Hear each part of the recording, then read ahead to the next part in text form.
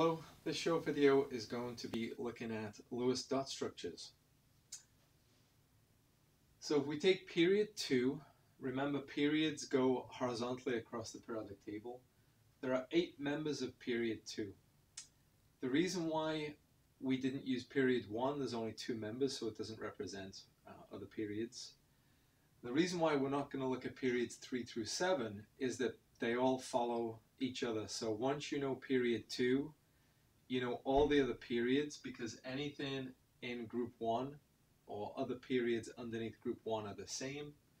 Anything under group 2 in other periods are the same. Lewis dots are valence electrons. So for group 1 elements, so the alkali metal elements, we write one dot. Typically you write it on the right here and that represents one valence electron. So elements in group 1 um, are in group 1 because they have one valence electron. Elements in group 2 have two valence electrons and that's why they're in group 2. Elements in group, now this is not group 3, it's group 13 because we have to go across the D block. So group 13 have three dots, so we draw them like this, kind of like the points on a, um, triangle, if you like. And then group 14 has four dots. So top, bottom, left and right.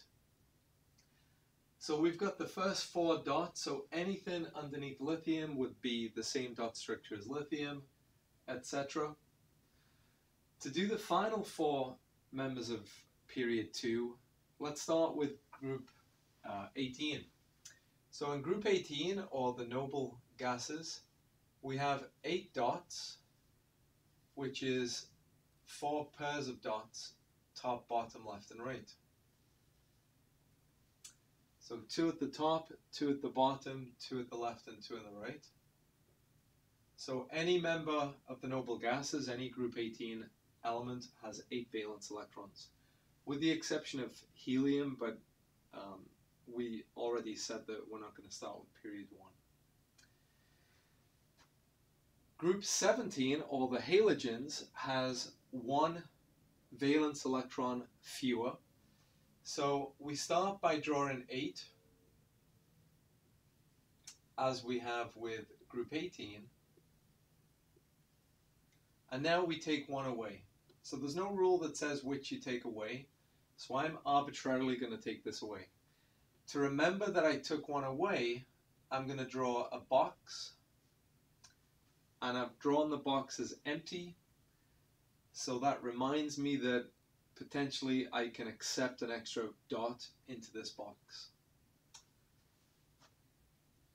To do oxygen or anything in group 16, I'll draw my 8 dots. Now I already have a box from here. Now I'm going to generate a second box. There's no rule that says where you have to take the electron away from. So I'm going to draw it here. Notice that we are disrupting a single member of a pair rather than just taking a whole pair of electrons away. So here I have six valence electrons, six dots, and I've got two vacancies or two boxes. And then to complete the set, let's draw group 15, nitrogen.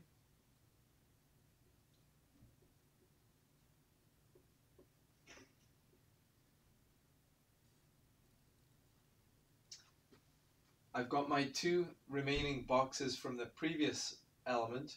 Now I've got to take an extra electron away because I only want five total. So I'm going to take this one away and replace it with a box.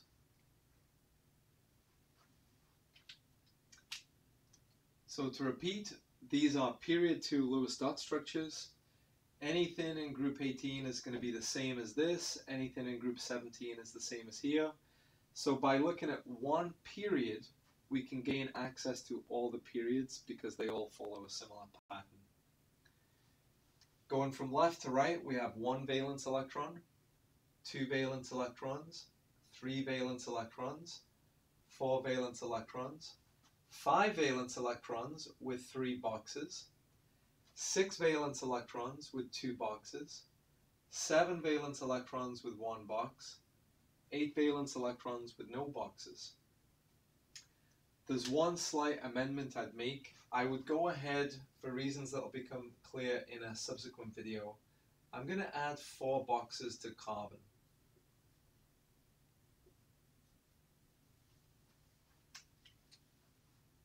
And that will complete this video.